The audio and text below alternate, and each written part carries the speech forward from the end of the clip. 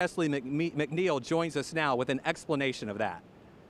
On many occasions when we have hurricane coverage, you'll hear people talk about the weak side of a hurricane versus the strong side or the good side versus the bad side. Well, when we look at hurricanes, we break them up into four sections or what we call four quadrants. It's the right front quadrant where we have the strongest wind speeds, and it's the left rear quadrant where we have the weakest wind speeds. Now, all are dangerous, but the right front quadrant is the strongest side, and that's where we see oftentimes the highest wind surge and a lot of the stronger damage. Now, if you look at a case of Michael, Hurricane Michael, coming in as a major category three hurricane, the strongest wind speeds and the most damage and storm surge would probably be on the right side, where that right front quadrant would be. As it continues to move up, you'll notice that Atlanta is on the weaker side of this system. The stronger side would be found over central and southern portions of uh, the state of Georgia. So that's where you're going to have a lot of the higher wind speeds and also allow the heavier rainfall amounts.